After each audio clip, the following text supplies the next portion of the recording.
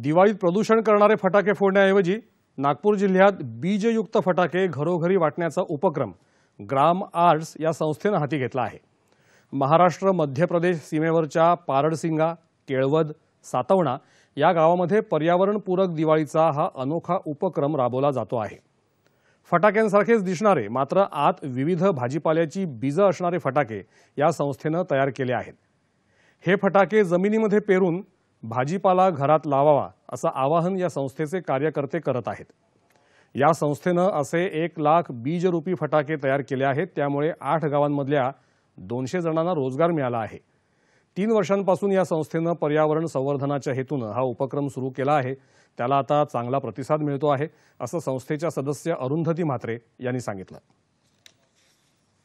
जर आपण पाच फटाके फोडतोय तर ॲटलिस्ट दोन आपण फटाके सो करूया. ज्याच्यानी झाडं येतील ज्याच्यानी भाज्या येतील ज्याच्यानी आपण मुलांना दाखवू शकतो की बघा भेंडी अशी येते यु नो स्पिनॅच असं येतं कारलं असं येतं हे आपण दाखवू शकतो.